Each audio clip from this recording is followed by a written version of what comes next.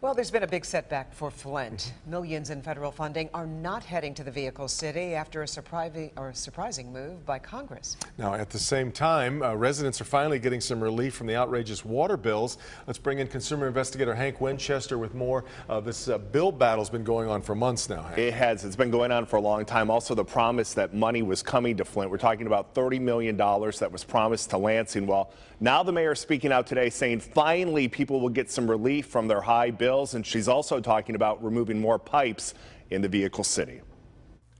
The people of Flint finally getting some financial help with their bills. Statements soon being sent out showing homeowners the credits they will receive. This is all part of the $30 million set aside to make sure people do not have to pay for water they can't even drink.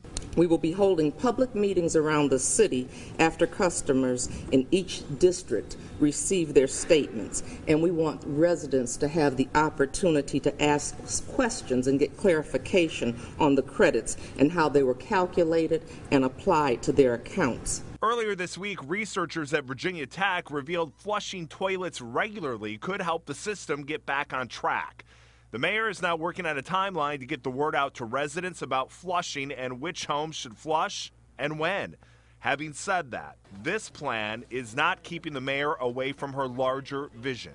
This does not change our plan and uh, what we're talking about as far as getting pipes replaced. We are continuing to push forward, and we believe that the residents of Flint deserve new pipes.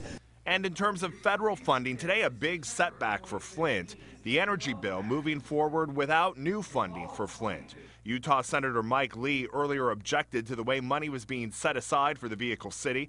And because of that prior hold, the action moved forward today without an additional 250 million for Flint.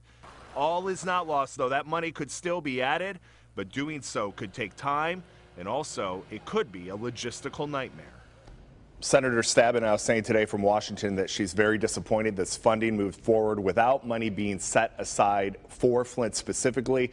Uh, as both of you know, even if they go back and try to add that money, Yeah. it's not going to happen overnight. It's going to take a long time to get that money Look to how far Flint. it's been already. Right. Now, the mayor's had this fast track program for removing the pipes. What's the funding picture there then now? Well, it's very limited. I mean, that's only 30 homes, and she's hoping to remove pipes all over the city of Flint. Again, this is really going to come down uh, between a battle between the mayor and the governor. Uh, the governor wanting to take a wait and see approach, see if treating the pipes will help. Right. Uh, the mayor says that the people of the city just don't trust that plan, that they want the pipes out. So we're going to have to wait and blame see how this plays out. yeah.